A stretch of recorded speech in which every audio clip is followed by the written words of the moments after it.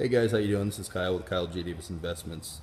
Uh, I'm sure many of you have a 2017 F350, 250, F150, anything uh, from Ford is have you know has went to aluminum bodies. Um, you know, you buy a new LED light for towing, and you know it's magnetic, which of course does not stick.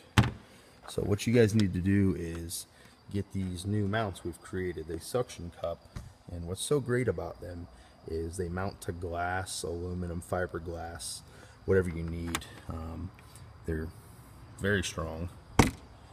Um, I've literally had uh, my LEDs on the truck cruising 85, 90 miles an hour down the interstate with no problems.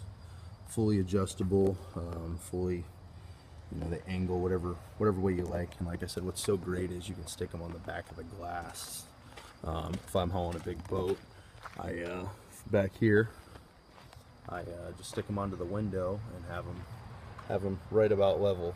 So uh, you know, for your DOT guys, so they can uh, see them, so there's no problems.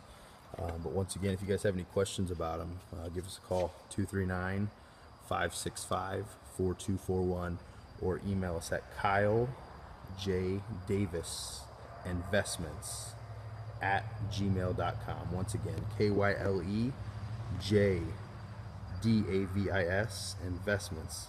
I N V E S T M E N T E S at gmail.com. Thanks, guys.